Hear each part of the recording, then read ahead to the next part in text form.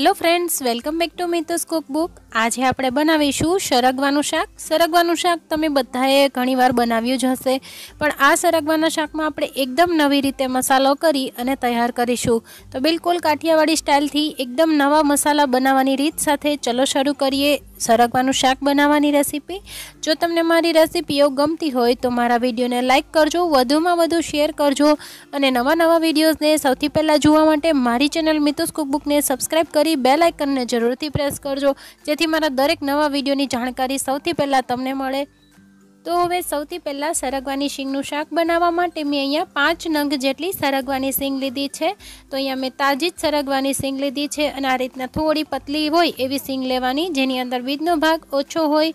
હવે આપણે આ સરગવાની શીંગને સારી રીતે ધોઈ લેવાની છે એકવાર. ધોયા પછી હવે આપણે આ સરગવાની શીંગને કટ કરી લઈશું. કટ કરવા માટે આગળની ભાગને કટ કરી અને થોડો આ રીતે ખેંચીશું એટલે છાલનો ભાગ નીકળી જાય. અને પછી આપણે પાછળની સાઈડ પણ આ જ રીતે કટ લગાવી અને ખેંચીશું એટલે જેથી એની છાલનો ભાગ નીકળતો જાય. અને હવે આપણે આંગળીની સાઇઝના સરગવાની સિંગના કટકા કરી લઈશું અને કટકા કરતા જઈ અને જે છાલનો ભાગ નીકળે એને આ રીતે ખેંચીને કાઢતા જઈશું. તો બસ આ જ રીતે આપણે બધી જ સિંગના કટકા કરી લેવાના છે. તો તમને જેવડી સાઇઝના કટકા પસંદ હોય એ રીતના આપણે કટકા કરી લેવાના છે. તો અહીંયા હું આ જ રીતે આંગળી આંગળીની સાઇઝના કટકા કરતી જાઉં છું અને છાલનો ભાગ આ રીતે કાઢતી જાઉં છું. તમે જોઈ શકો છો આ જ રીતે આપણે સરગવાની બધી જ સિંગને કટ કરી લઈશું. તો અહીંયા તમે જોઈ શકો છો મેં બધી જ સરગવાની સિંગને કટ કરી લીધી છે. હવે આપણે આ સરગવાની સિંગને બાફવા માટે એક કુકરમાં ઉમેરી દઈશું. અને સાથે જ એની અંદર આપણે અડધી ટીસ્પૂન જેટલું નમક ઉમેરીશું અને અડધી ટીસ્પૂન જેટલો હળદર પાવડર ઉમેરીશું. નમક ઉમેરવાથી આપણી સિંગ છે એ ખાવામાં બિલકુલ ફિક્કી નહીં લાગે અને હળદર ઉમેરવાથી આપણી સિંગનો કલર એકદમ સરસ આવશે. તો હવે આપણે એકથી દોઢ ગ્લાસ જેટલું પાણી ઉમેરી મીડિયમ ફ્લેમ પર ફક્ત એક જ વિસલ કરી લઈશું.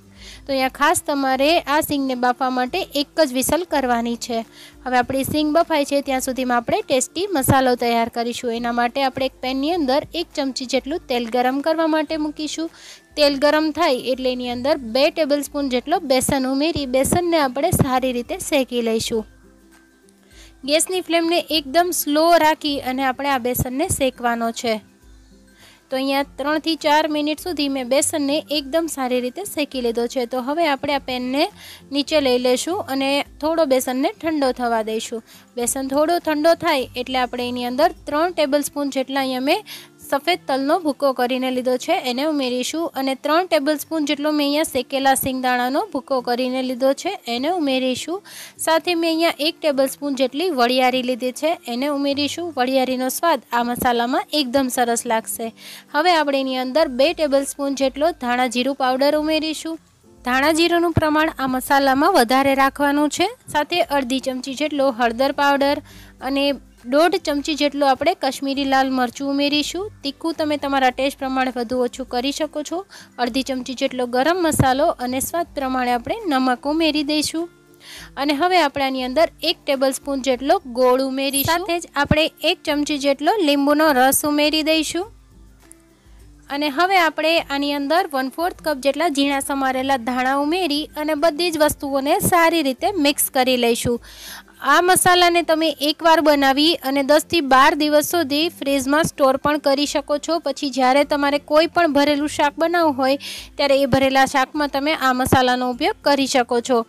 તો આ મસાલો તમે દસથી બાર દિવસ સુધી સ્ટોર કરવા માટે જો બનાવતા હોય, તો એની અંદર તમારે લીલા ધાણા નહીં ઉમેરવાના લીલા ધણાને સ્કીપ કરી એના મસાલો તમે સ્ટોર કરી શકો છો. મેં અહીંયા બધી જ વસ્તુઓને સારી રીતે મિક્સ કરી લીધી છે. તો અહીંયા આપણો એકદમ ટેસ્ટી મસાલો બિલકુલ તૈયાર છે. તો આને સાઈડ પર રાખીશું અને આપણે સરગવાને ચેક કરી લઈશું. તો અહીંયા કુકરનું પ્રેશર મેં એની જાતે જ રિલીઝ થવા દીધું હતું અને તમે જોઈ શકો છો એક જ વિસલમાં આપણી સિંગ સરસ રીતે બફાઈ ગઈ છે. અહીંયા તમારે વધારે નથી બાફવાની, વધારે બફાઈ જશે. તો જ્યારે આપણે શાક વઘારશું ત્યારે એકદમ મેશ થઈ જશે અને છૂટી પડી જશે. તો હવે આપણે પાણી બિલકુલ નહીં ફેંકીએ એનો આગળ આપણે ગ્રેવી માટે યુઝ કરીશું. તો હવે આપણે એક કડાઈની અંદર ગેસની મીડિયમ ફ્લેમ પર ચાર ટેબલ સ્પૂન જેટલું તેલ ગરમ કરવા માટે મૂકીશું. તેલ આપણું સારી રીતે ગરમ થાય એટલે ગેસની ફ્લેમને એકદમ સ્લો રાખી અડધી ટીસ્પૂન જેટલી રાઈ અને અડધી ટીસ્પૂન જેટલું જીરું ઉમેરીશું. વન ફોર્થ ટીસ્પૂન જેટલી આપણે હિંગ ઉમેરીશું. અને ત્યારબાદ મેં અહીંયા સાતથી આઠ કડી લસણની, બે લીલા મરચાં અને એક ઇંચ આદુના ટુકડાને મિક્સર જારમાં ઉમેરી એકદમ સારી રીતે ક્રશ કરી લીધું છે. તો એ બધી જ વસ્તુઓને આપણે આ રીતે વઘારમાં ઉમેરી અને આને આપણે બેથી ત્રણ મિનિટમાં ટેસ્ટ સ્લો ફ્લેમ પર સોતે કરી લઈશું. તો લસણનો કાચો ટેસ્ટ નીકળી જાય ત્યાં સુધી આપણે આને સોતે કરવાનું છે.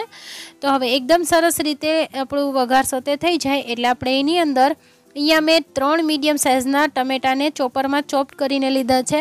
એને ઉમેરી દઈશું અને સાથે આપણે વન ફોર ટીસ્પૂન જેટલું નમક ઉમેરીશું. નમક અહીંયા ખૂબ જ ધ્યાનથી ઉમેરજો. આપણે જે મસાલો બનાવ્યો, એમાં પણ નમક ઉમેરેલું છે અને સાથે આપણે જે સરગવો બાફ્યો, એમાં પણ નમક ઉમેરેલું છે.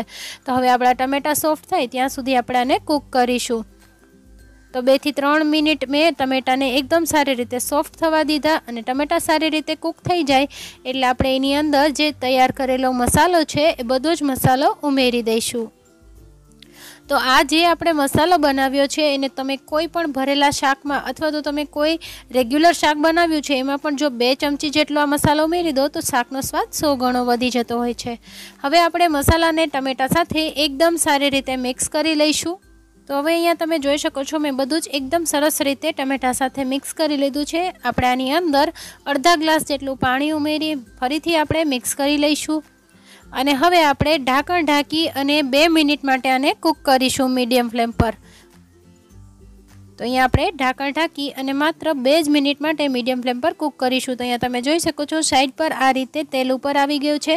આ રીતે તેલ છૂટું પડવા લાગે પછી આપણે જે સરગવો બાફીને રાખ્યો છે એ પાણી સહિત જ આપણે બધો જ સરગવો શાકમાં ઉમેરી દઈશું. અને હવે આપણે એકદમ હળવા હાથે મિક્સ કરી લઈશું. તો એકદમ સરસ રીતે બધું જ મિક્સ કરી લેવાનું છે. તો અહીંયા જે તમે સરગવો બાફ્યો, એની અંદર જો પાણી ઓછું ઉમેર્યું હોય, તો અહીંયા તમે પાણી થોડું વધારે ઉમેરી દેજો. હું આ ગ્રેવીવાળું શાક બનાવું છું, એટલે પાણીનું પ્રમાણ મેં થોડું વધારે જ રાખ્યું છે. હવે આપણે ઢાંકણ ઢાંકી અને ત્રણથી ચાર મિનિટ માટે કૂક કરી લઈશું મીડિયમ ફ્લેમ પર.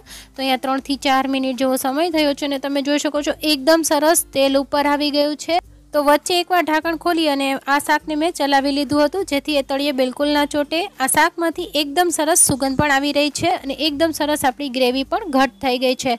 આ ગ્રેવી હજી ઠંડી થશે એટલે વધારે ઘટ થશે. તો હવે આપણું અહીંયા શાક તૈયાર છે, તો આ શાકને આપણે સર્વિંગ પ્લેટમાં લઈ અને સર્વ કરી લઈશું. તો તમે જોઈ શકો છો, જોતાં જ મોઢામાં પાણી આવી જાય એવું એકદમ ટેસ્ટી નવા મસાલા સાથે આપણું સરગવાનું શાક બિલકુલ તૈયાર છે. આ સરગવાના શાકને તમે એકવાર બનાવી અને જરૂરથી ટ્રાય કરજો. રોટલી, પૂરી કે પરાઠા સાથે સર્વ કરી શકાય એટલું ટેસ્ટી આ શાક બન્યું છે. તો જો તમને આજની મારી આ રેસીપી ગમી હોય, તો મને કોમેન્ટ સેક્શનમાં જરૂરથી જણાવજો. સાથે જ મારા વિડીયોને લાઇક કરજો, વધુમાં વધુ શેર કરજો અને નવા નવા વિડીયોઝને સૌથી પહેલાં જોવા માટે મારી ચેનલ મિતુસ કુકબુકને સબસ્ક્રાઈબ કરી બે લાઇકનને પ્રેસ કરવાનું બિલકુલ ના ભૂલતા. આપણે ફરી મળીએ નવી એક રેસીપી સાથે. ત્યાં સુધી થેન્ક્સ ફોર વોચિંગ